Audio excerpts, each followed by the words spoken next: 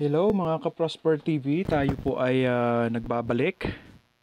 We are back again and ah, gagawa tayo ng ah, maiksi lang ah, tutorial kung paano tayo makakagamit ng ano no, kung gagamit tayo ng music na hindi tayo makaka-copyright strike o copyright claim. So, ang atin lang gagamitin guys is yung mismong ah, YouTube ah, audio library lang yung ating gagamitin.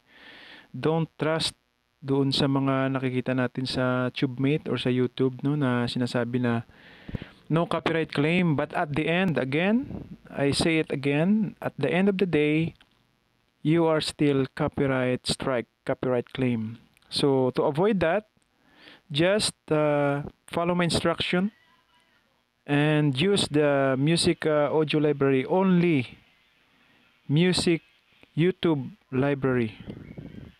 Okay? Just to avoid this uh, copyright claim in the future. So let's begin. So una natin gagawin guys katulad nito ibabalik ko muna siya sa ano no kung bago pa lang kayo halimbawa Katulad nito, halimbawa, yung una natin gagawin guys, gagamitin natin is yung Google Chrome. So, bago tayo mag-search, i-click muna natin ito. Ito kung makikita nyo yung nasa right side na tatlong dot. Click nyo yan. I-click nyo yung desktop side dito sa may baba ha. Yan. Dito po sa baba. And then dito, i-click natin yung YouTube. Uh, mag-type tayo ng youtube.com. So, nandito na tayo sa youtube.com, sa loob mismo ng youtube.com. So, ayan. ayan yung account natin. So, ito, papakita ko sa inyo, yung nasa bandang itaas, sa may right side, ayan yung logo, yung may bilog. Yan po yung profile ko. So, yan po yung ating i-click. Yan, click tayo dyan. Tapos, meron ka ngayong makikita na your channel. I-click nyo yung your channel.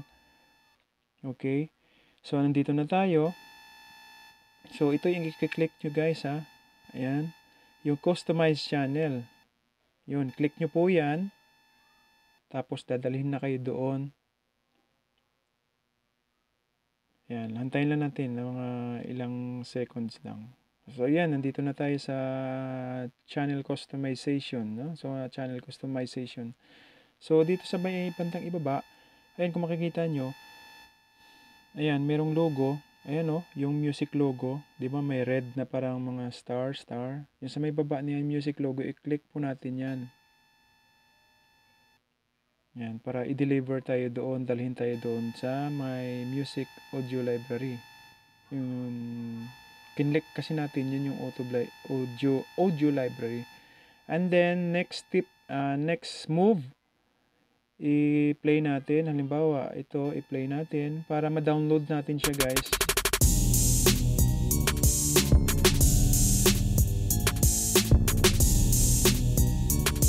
Ayan.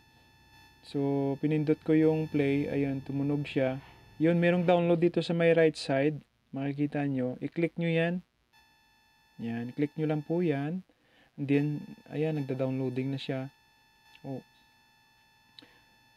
Ayun, yung Bay Street Billionaires. So, ayan na yung music, na-download ko na siya. Ganyan siya. So, ganun lang kasimple guys. At madali lang siyang sundan. At, uh, yan, sundan nyo lang yung instructions ko. Okay?